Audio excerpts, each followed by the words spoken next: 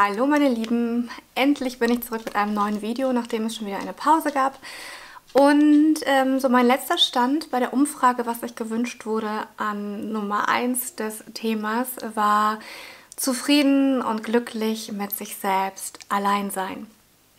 Äh, keine Angst, ich werde auch die anderen Themen nach und nach behandeln und auch dieses Thema, das hier wird eigentlich nur so ein kleines Intro-Video zu dem Thema, weil das so komplex ist, weil es da eben auch wieder kein so richtiges Schema F gibt, sondern jeder von euch ja einzigartig ist und jeder hat eine einzigartige Situation, jeder hat einen einzigartigen ja, Charakter und wie, was für Erfahrungen ihr gemacht habt, wie ihr in der Welt um, umhergeht, wie ihr auf andere Menschen reagiert, wie sie auf euch reagieren, was ihr für einen Job habt und so weiter und so fort, ob ihr introvertiert seid, extrovertiert etc. pp.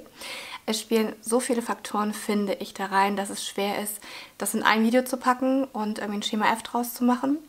Deswegen werde ich euch heute so ein bisschen was von meinen Gedanken über dieses Thema erzählen und wie ich zum Beispiel damit umgehe, wie ich ähm, das Ganze sehe und würde mich freuen, wenn ihr mir Kommentare hinterlasst mit zum Beispiel mit Problemen, mit Fragen, mit dies und das Beispielen sodass ich versuchen kann, so ein bisschen auch auf einzelne Problemfelder vielleicht einzugehen und einfach meine Sicht der Dinge wiederzugeben und meine persönlichen Ratschläge dazu. Mehr sind meine Videos ja in der Regel nicht. Und äh, ja, fangen wir doch einfach mal an.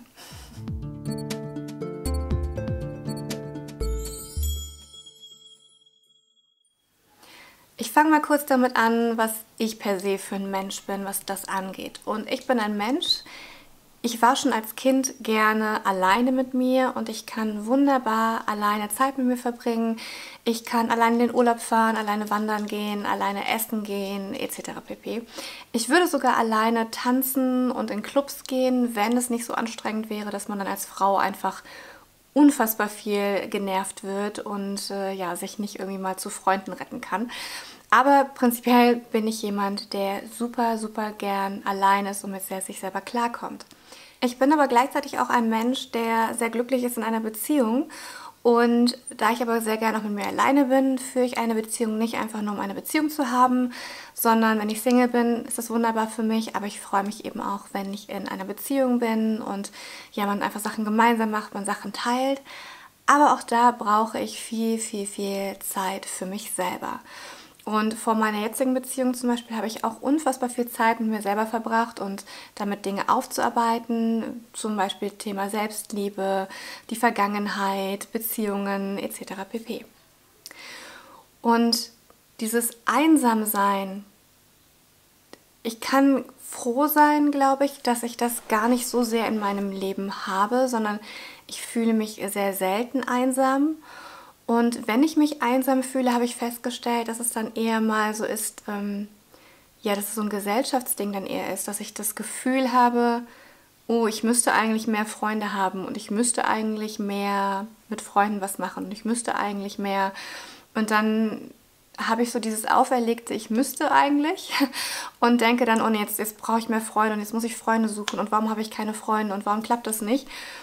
Und wenn ich dann auf die Jagd nach Freunden gehe, dann merke ich sehr, sehr schnell, ah ja, deswegen habe ich nicht so viele Freunde, weil es mir einfach super schwer fällt, Freundschaften zu pflegen. Also ich bin sehr schwer darin, was so Smalltalk angeht. Ähm, ich bin deswegen auch schwer darin, was so Kontakthalten angeht. Ich mag es total gerne, wenn man sich trifft und dann austauscht und auch über alles reden kann.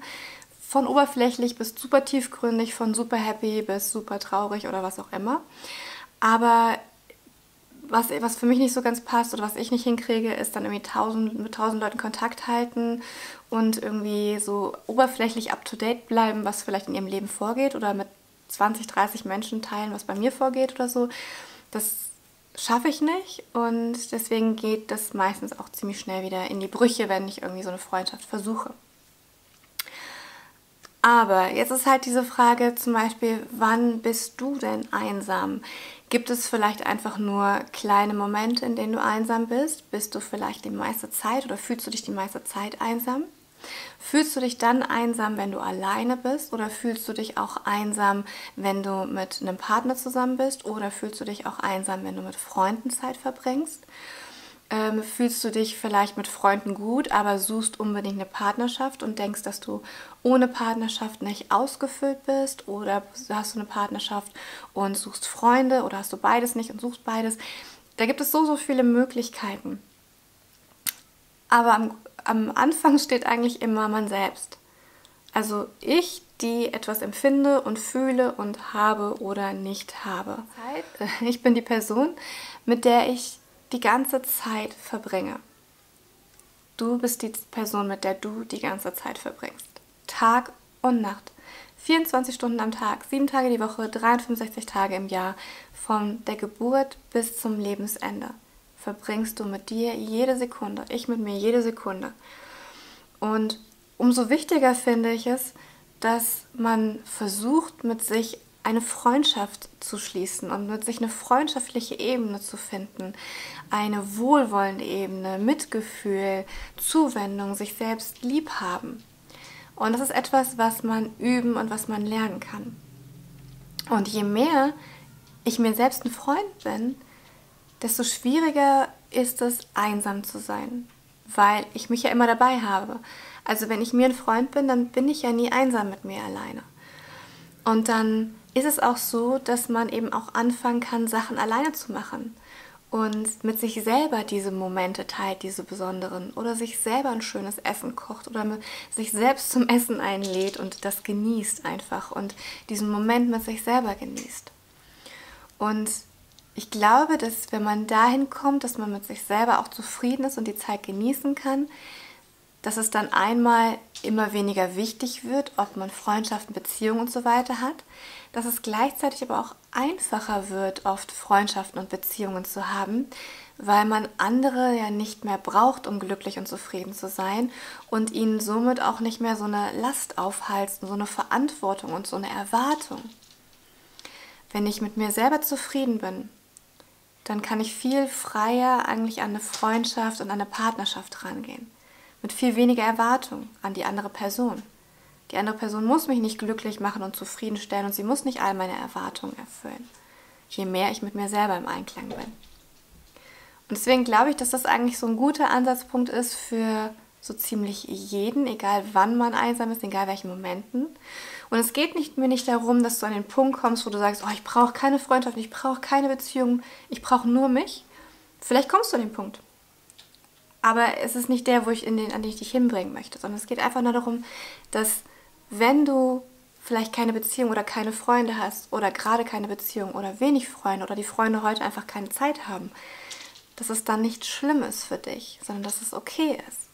Und dass du vielleicht auch ein bisschen entspannter auf Beziehungen oder das Thema Beziehungen und Freunde zugehen kannst, weil diese Personen nicht deine Bedürfnisse erfüllen müssen. Und dann ist vielleicht die Frage, okay, ja, Theorie, aber wie soll denn das funktionieren? Und da finde ich, ist es wie bei allem anderen Übung, eine Übungssache.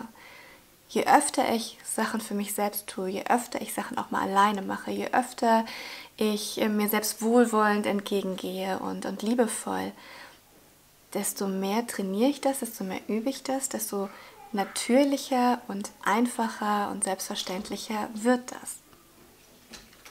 Und da kann ich halt anfangen mit Dingen, zum Beispiel, wenn ich vielleicht gar nicht so erstmal meine Bedürfnisse selbst spüre oder mich selbst spüre, dann kann ich mir überlegen, was erwarte ich denn von einer Beziehung und was erwarte ich von einer Freundschaft? Was erwarte ich von Menschen, die für mich da sein sollen? Ist es zum Beispiel, dass ich mit diesen Menschen Momente teile, ist es, dass ich diesen Menschen vielleicht mein Leid klagen kann, dass ich mir erhoffe, dass sie mich stützen, dass sie mir weiterhelfen, dass sie mich ablenken? Äh, wünsche ich mir irgendwie Zuneigung? Wünsche ich mir Anerkennung? Wünsche ich mir, dass jemand stolz auf mich ist? Wünsche ich mir, dass mich jemand tröstet? Etc. pp. Ja, vielleicht kannst du einfach mal das Video auf Pause drücken und wirklich mal aufschreiben, was du entweder von einer Beziehung zu anderen Menschen erwartest oder wenn erwarten das falsche Wort ist, was gibt dir die Beziehung zu anderen Menschen oder was denkst du, was sie dir gibt? Warum suchst du die Verbindung zu anderen Menschen? Drück einfach mal auf Pause, schreib das auf und dann geht's gleich weiter. Und wenn du jetzt deine Liste hast, egal ob da eine Sache draufsteht, egal ob da 20 Sachen draufstehen, wenn du die nächste Zeit immer mal dran denkst und dir was einfällt, so, ach, guck mal hier, das erwarte ich oder hoffe ich noch mehr von einer Freundschaft oder einer Beziehung, dann schreib das gerne auch mit auf. Ja? Und bei diesen Sachen kannst du dann anfangen, sie dir nach und nach selber zu geben. Das ist bei körperlichen Dingen schwierig, wenn da irgendwas steht wegen Küssen, Umarmungen, Sex etc. pp. Aber um diese Dinge wollen wir uns jetzt nicht kümmern, sondern wir wollen uns um die seelischen oder die zwischenmenschlichen Dinge kümmern, die nichts mit Körperlichkeiten zu tun haben. Und da kann ich mir all die Dinge, die ich mir von anderen erhoffe, tatsächlich auch selbst geben. Auch mich zu trösten, auf mich stolz zu sein, mir Anerkennung oder Zuneigung zu schenken, mir zuzuhören, einfach nur mich ähm, aufzufangen, mich, mich zu bestärken. Das kann ich Stück für Stück auch mit mir selber ausmachen. Zum Beispiel über Selbstgespräche. Ich bin ein Mensch, ich führe unfassbar viele Selbstgespräche. Ich weiß, es ist, geht nicht jedem Menschen so, aber ich gehöre zu den Menschen, die unglaublich viele Selbstgespräche führen. Teilweise vor sich hin brabbeln und teilweise aber auch oder oft einfach auch im Kopf. Und wo ich wirklich Dialoge auch mit mir führe und über Dinge nachdenke. Okay, wie siehst du das? Ja, hm, eigentlich, ne? Ähm, manchmal wie so eine gespaltene Persönlichkeit ist es aber nicht, sondern ich rede einfach mit mir und versuche ein Gespräch mit mir zu führen, um herauszufinden, will ich das, mag ich das, welche Entscheidung treffe ich, ist für mich ganz normal. Und das wäre auch eine Möglichkeit, wie du vielleicht versuchen könntest, mit dir in einen Austausch zu gehen. Zum Beispiel kannst du das einfach so üben, indem du einfach mal mit dir selber redest, entweder laut oder im Geiste. Ähm, wenn dir das noch schwer fällt, dann könntest du das auch versuchen in der Meditation zum Beispiel zu machen, dass du erstmal in einen gewissen Entspannungszustand kommst und dir dann vielleicht vorher schon auch Fragen notierst und dir gezielte Fragen stellst und einfach mal hineinfühlst, was da als Resonanz zurückkommt. Es gibt die Möglichkeit, das auch in Hypnosen zu machen. Äh, es gibt die Möglichkeit, das mit einem, mit einem Raumanker zu versehen. Das heißt, du setzt dich auf einen Stuhl, setzt dir einen anderen Stuhl gegenüber und stellst dir vor, dass du dir selbst gegenüber sitzt Ihr könnt auch mal gucken, es gibt schon so eine Stuhlgesprächübung bei mir auf dem Kanal. Und äh, ja, erzählst dir dann vielleicht mal über dich selber oder vielleicht möchtest du einfach mal das, was du vielleicht einer Freundin oder deinem Partner erzählen würdest, einfach mal rauslassen. Vielleicht von deinem Tag erzählen, vielleicht von irgendwelchen Problemen, vielleicht von Dingen, die dir Angst machen, die dich aufregen, vielleicht schöne Dinge, die du erlebt hast. Also alles das, was du einer anderen Person erzählen würdest, einfach mal dir selbst erzählen. Stell dir vor, du sitzt dir selbst gegenüber. Und dann wechsel doch mal den Platz und antworte darauf. Zum Beispiel, indem du dir selbst Trost zusprichst oder Mitgefühl, äh, liebe Worte, einen Ratschlag, indem du sagst, oh, toll gemacht, ich bin stolz auf dich. All solche Sachen. All die Sachen, die du mit jemand anders führen würdest. Und das kann am Anfang lächerlich wirken oder dass man sich da vielleicht ein bisschen doof bei fühlt. Aber ich muss sagen, aus meiner Selbsterfahrung, ich mache das sehr oft. Und natürlich freut mich auch Bestätigung von anderen. Natürlich freut mich es, wenn ich getröstet werde oder ich Anerkennung bekomme oder whatever, ja. Aber ich kann mir das richtig gut auch selber geben. Indem ich mir dann auch sage bei manchen Sachen, boah, Fabian, hast du echt gut gemacht, kann stolz auf dich sein. Äh, zum Beispiel auch bei, bei Bildern. Ich habe jetzt neulich diesen V gemalt und da habe ich schon wieder eine längere Malpause gehabt und dachte so, naja, jetzt setzt du dich einfach mal hin. Das musst du nicht in, in Social Media teilen, das muss niemand sehen. Jetzt einfach mal so ein bisschen was ausprobieren für dich, für dich machen. Und am Ende ist es mein absolutes Lieblingsbild geworden. Und ich war so happy darüber und habe dann mir selber gesagt, wow, wie cool, dass du das gemacht hast und wie schön es geworden ist. Mein absolutes Lieblingsbild, hammergut, super. Ja, ich habe mich total mit mir selber gefreut. Und ich habe es dann trotzdem auf Social Media geteilt, weil ich es so schön fand. Und aber auch wenn dann liebes Feedback kam, habe ich dann auch gesagt, so ja, mir gefällt es auch total gut, um mich selber eben auch zu loben und mir Anerkennung zu geben, weil das etwas ist, was ich auch lange, lange, lange, lange, lange nicht konnte und wo ich dann auch angewiesen war auf die Anerkennung von anderen. Aber es ist total schön, wenn man sie sich eben selber geben kann. Und ich rede auch mit mir, wenn es mir schlecht geht, ja, und, und, und, und, klage mir mein Leid oder frage mich so, was kann ich denn jetzt tun und und bla und hilf mir doch mal und all so Sachen. Oder wenn ich draußen in der Natur bin, dass ich dann, wenn ich so schöne Eindrücke habe, ja, ich teile ein, äh, manche Eindrücke teile ich ja auch auf Instagram oder auf YouTube, aber natürlich nicht alles. Ich filme ja nicht meinen ganzen Spaziergang und nicht jedes kleinste Detail. Und äh, zu Hause zeige ich meinem Freund auch Sachen oder erzähle ihm Sachen, die ich gesehen habe. Aber das, das, die meisten Eindrücke sammle ich alleine und in Fotos kann ich die Sachen gar nicht so einfangen, wie ich sie gerade sehe. Und ich kann vieles überhaupt null einfangen, so wie ich es sehe. Und deswegen teile ich das in diesem Moment mit mir und stehe auch da und denke mir, oh, guck mal, wie schön ist das denn? Oh, der Hammer. Und rede auch mit mir, so wie ich das jemand anderem erzählen würde. Ich bin, bin sehr begeisterungsfähig, gerade in der Natur. Und das erzähle ich mir dann auch in diesem Moment und, und erfreue mich mit mir selber an diesem Moment. Oder teile es mit einem Baum, der da gerade steht und sagt, wow, diesen Ausblick hast du immer, wie schön. Ja. Ähm, und ja, das, das sind Sachen, die, die haben sich entwickelt. Das habe ich noch nicht immer so gemacht. Also ich war als Kind schon ein Einzelgänger, auf jeden Fall. Da habe ich, glaube ich, schon so die Veranlagung, dass es mir leicht fällt, allein zu sein. Aber ich habe eben lange, lange, lange auch versucht, irgendwie Bestätigung zu haben oder das mit jemandem zu teilen oder ne. Und es ist wirklich einfacher geworden. Es wird viel, viel einfacher mit der Zeit.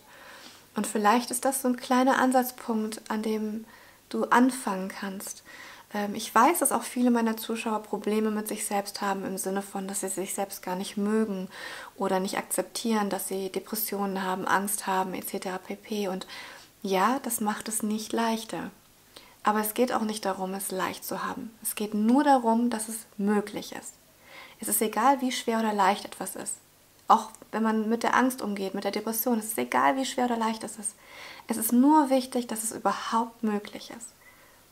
Der Rest ist unwichtig. Also nicht unwichtig natürlich auf deinem Weg, aber das ist das Wichtigste, dass es möglich ist. Und auch das hier ist möglich. Es ist möglich, sich mit sich selber anzufreunden. Es ist möglich, ähm, sich selber Trost, Anerkennung etc. pp. zu spenden. Und ähm, wenn ihr wollt, teilt gerne mal, was auf eurer Liste steht, was äh, ihr euch vielleicht aus der Beziehung mit anderen Menschen erhofft. Ähm, dann kann ich da auch mit anderen Videos nochmal drauf eingehen. Äh, erzählt vielleicht auch mal, was euch da vielleicht besonders schwer fällt, was für euch vielleicht eine besonders große Hürde ist, wenn ihr das wollt.